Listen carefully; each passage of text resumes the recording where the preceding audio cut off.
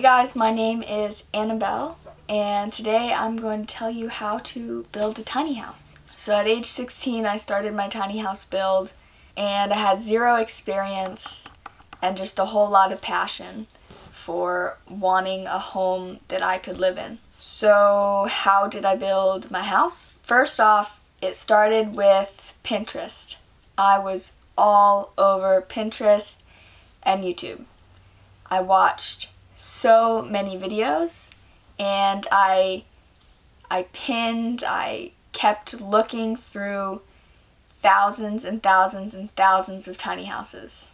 Whenever I had free time, I was not looking at Facebook, Instagram, or other social media platforms. I was on Pinterest and YouTube watching tiny house videos. I was talking about it nonstop for what seemed like a few months until I really was like, I want to do this, I'm going to do this, and so I figured out a way to do it. So after I kind of got all this passion and these tiny houses were kind of consuming my life, I then went to YouTube and I found tiny nests videos and that's when I realized wow I can actually do it because someone else has is showing me the technical side of the tiny house build.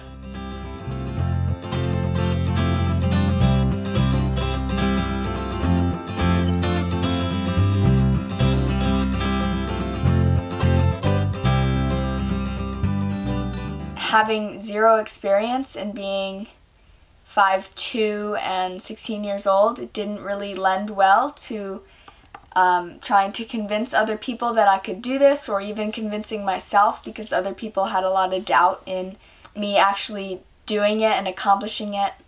So that's when I kind of was like, wow, I can do this. I then started drawing up plans and trying to figure out like financially how much the tiny house would cost. I've done some videos talking about the financial side of things and how I built it and how much it costs and uh, suggestions I have to other people who want to keep their costs low or are looking for maybe donations and things like that. I'm not going to talk about that now, but they, they will be linked below. So I kind of drew up the plan. Now what I mean by drawing up the plans is literally writing down the whole build. And what I was planning on doing, drawing floor plans, more things. Nothing was technical about this at all. This is my loft space. It kind of looks similar to that. I then drew some with color. And then I made lists of what kind of tools I would need and in terms of like the composting toilet, um, a potential off-grid water system. Basically, that was all the actual planning that I did. And then I just kind of started. I ordered the trailer and the build started to happen. In terms of actually using the plans that I made, um, I did actually make a few very technical drawings of on graph paper trying to figure out like okay this stud is here another stud another stud the actual length of everything and once I got the trailer it was slightly larger than I expected or smaller I don't remember. The trailer ended up being like 8 feet 4 inches and I either did it for 8 feet or 8 feet 6 inches so everything was off. It wasn't just because of that, it was my miscalculations and just so many things combined to make all my plans pretty much irrelevant. But they weren't ir irrelevant because they gave me that bigger picture that I wouldn't have had if I didn't actually do all the work. So although I didn't use the te technical measurements, I did, I saw the walls in a different way and I saw all the siding and other such things in a totally new and different light that I wouldn't have if I didn't do the drawings. That being said, they weren't very technical and I see tiny house plans now and I'm like, can I even call these plans because they're like doodle drawings I feel like that I did in maybe a few hours at most. Anyway, so after you have some plans, I would just say go for it. You're going to make mistakes whether you take two years planning this or a month planning it. And I really believe that there's no mistake that you can make in a tiny house that could make it totally not work, that would, your house would just collapse.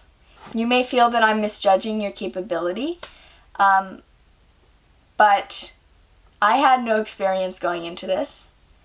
And when I think about the possibility of building another house, there are so many mistakes I can already feel that I will make. A wall fell over while I was building this house.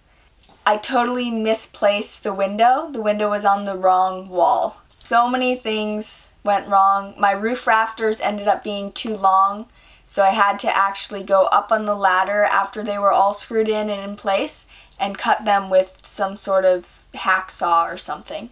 Of course there are going to be mistakes, but nothing is too much that you can't get over that and keep moving forward. And I think part of the cool thing about building a house that's so small is that you never feel weighed down by this like massive amount of work you have to do on framing or so much plywood that you have to put up or wow there's just too much roofing to do. It's nothing like that because it's so small. There's just enough of every aspect of building a home that it keeps you motivated. It keeps you going. It keeps you wanting to to build to eventually have a house I would suggest watching Tiny Nest videos and I would suggest really investing time to inspire your own build and what you want in a home. And that will drive you forward. That'll drive you to create a tiny home. You can also ask for outside help. Maybe your family is good with carpentry. Mine wasn't so good. They could help with like calculations and common sense in terms of of recognizing when when things may not be lined up right, but in terms of actually building it, um, they they weren't that helpful. I hear from so many people on a daily basis who want to build a tiny house but feel like they can't, and I just want to say you can and you should go and build a tiny house if that's really what you want. And if it's not, then just recognize that you're not in a place or you don't have that desire to really have a tiny house. And I think this advice kind of goes for everything in life. What we think about most, we manifest into reality. And if you're not willing to really invest the time to to research, to think about, to figure out all the logistics of building a home or I don't know, becoming a, a baseball player or whatever it is that you want to do, then just recognize that and either change it and start really making that a priority or or find something else that you're passionate about and pursue that.